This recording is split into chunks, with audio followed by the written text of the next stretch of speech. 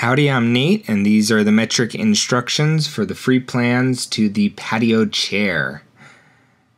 Metric, something I'm not super good at.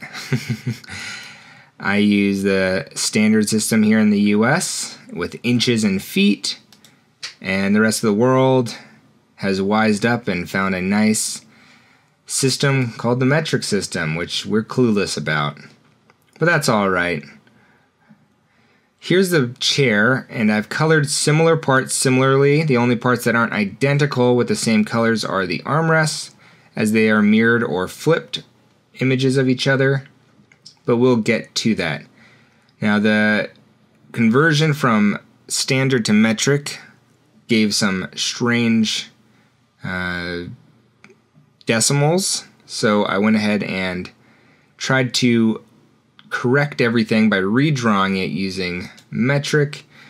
And I tried not to go outside of the tenth column on the centimeters. Or the tens column. Here we have the apron measurements. And the slats. You want 18 of these slats. And we'll put the apron together in this orientation and we'll put 11 slats on it.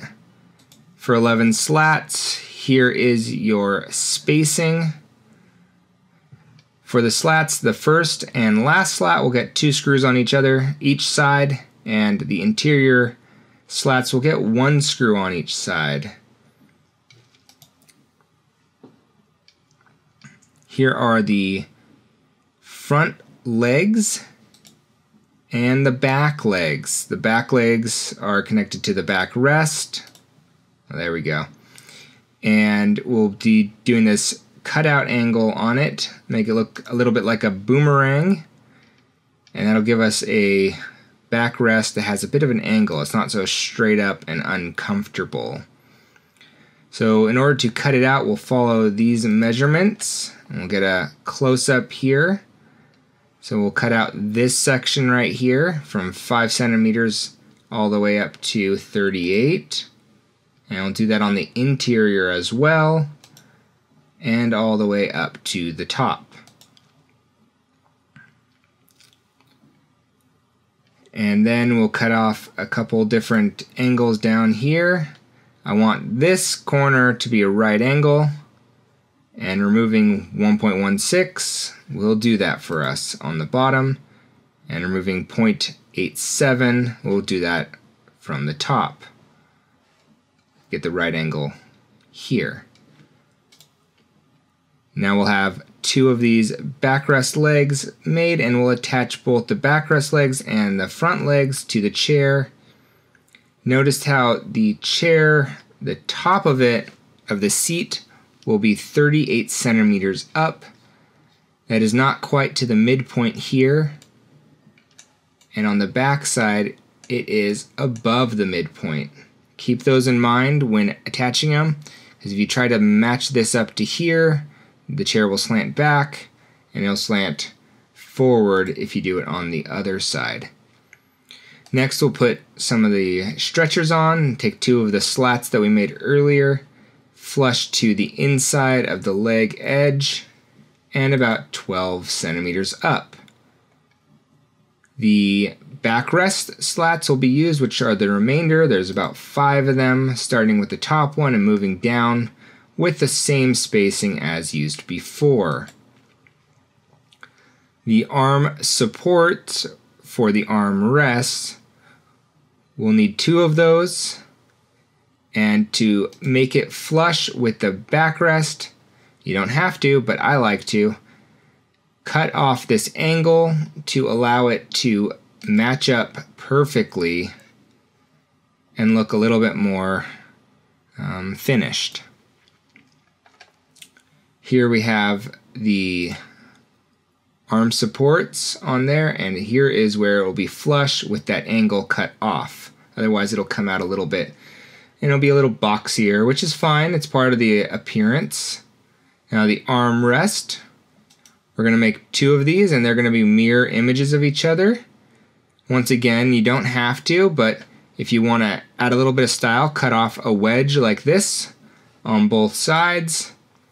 And if you want to match the back rest, cut off a wedge right here. Now this is the upside down, so that's why it's colored differently. So realize that you don't want to cut down like that, you'll want to cut up like this. So that way this cut will match the backrest.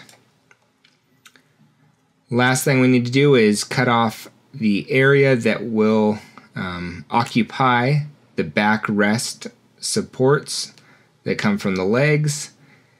And so we'll cut in the width of that as well as their lengths with that angle. So this angle does become important at this point where if you decided not to cut that angle, you're going to have to measure that um, out some other way because right now you, this point to this point is equal to this point to this point which wouldn't be so on the bottom side if you didn't cut that wedge off. This would be a longer cut in, and so you might just have to add that spot that we didn't cut off onto here. Regardless, once those are cut out, we can attach them to the chair. And voila, we have armrests, we have a chair paint and finish it to your desired appearance. And that, my friends, is the chair in metric. I hope it was helpful. As this is my first video with the metric instructions like this, please tell me if there's something I should know about the lumber that you have access to. So that way, when I design the furniture for metric measurements, I might be able to accommodate the standard wood sizes that you may have available because these are based off of the standard wood size sizes in the US where we use wood that is in inches, uh, one by four inches, where one inch is actually three fourths of an inch, and the one by four, uh, the four is actually three and a half inches. So we're pretty crazy over here, to say the least. But if you have some information about the wood sizes in your area, let me know in the comments. Let me know if this was useful, if you made a version of this chair yourself. Until next time, my friends, bye.